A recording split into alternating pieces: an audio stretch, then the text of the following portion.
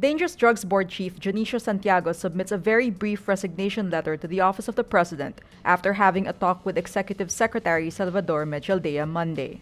According to sources, Duterte was displeased by Santiago's statements about how the administration is handling the illegal drug problem. Santiago earlier said the Nueva Ecija Mega Drug Rehabilitation Center funded by Chinese tycoon Huang Rulun was a mistake.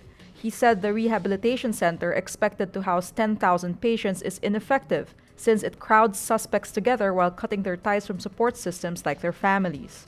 Santiago also said the rehabilitation center was impractical. He said, quote, that was a mistake. The problem is the president got excited, but the money could have been spent on small community-based rehabilitation programs that can accommodate only between 150 to 200 people. Santiago is the second DDB official to be fired for remarks about the Duterte administration's war on drugs policy.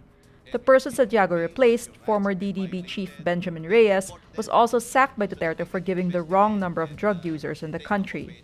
Duterte then said, quote, You do not contradict your own government.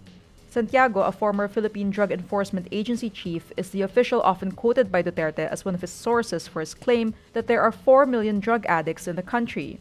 This figure is critical in bolstering Duterte's narrative that his bloody war on drugs is necessary. Duterte supported the senatorial bid of Santiago in 2016, a bid which Santiago lost.